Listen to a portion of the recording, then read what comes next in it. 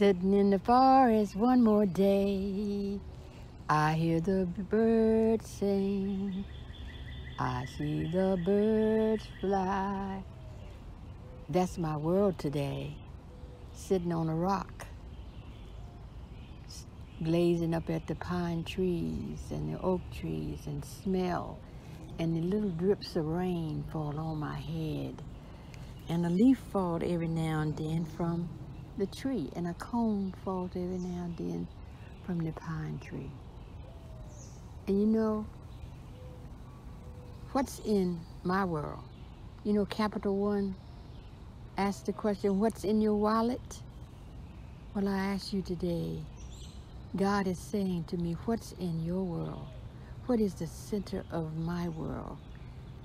All of us have a world that we create through our eyes and our perceptions in our minds. Some create a world of negativity and fear. Some create a world where there's always doubt and worry near. Some create a world where there's no love in their hearts.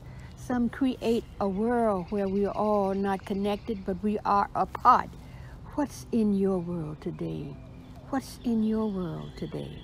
Some create a world where we should be swimming in an ocean with waves of fear that drowned and pulled us under, and we forget that the Almighty is there waiting for us to call, and and it is always near.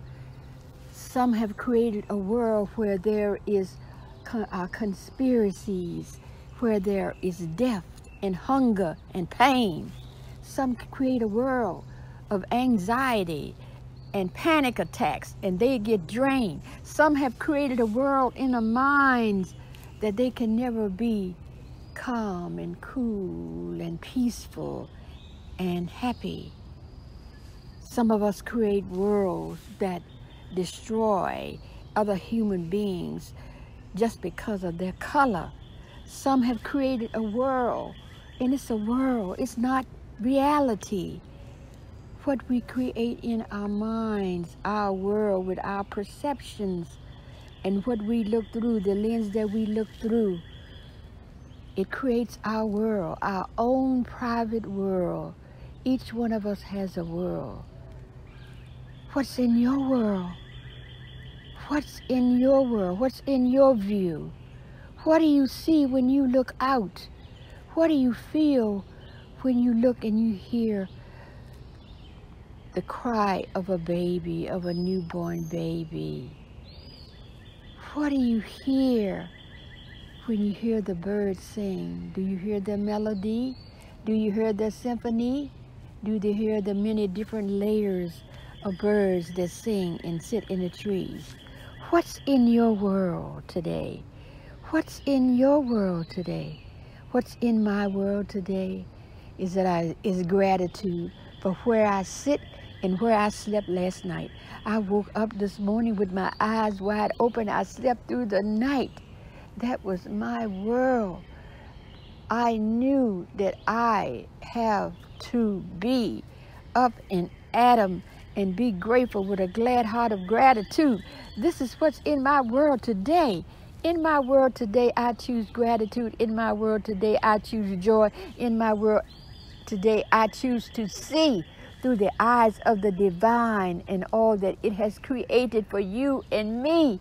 In my world today, I create harmony and peace. In my world today, I create and I sit and I bathe and I allow the waves, the waves of peace, the waves of calmness, the waves of serenity to wash over me and through me and wash away all any kind of negative debris. I create in my world today where I am grounded, centered, and focused, and I am connected to me, myself, and I.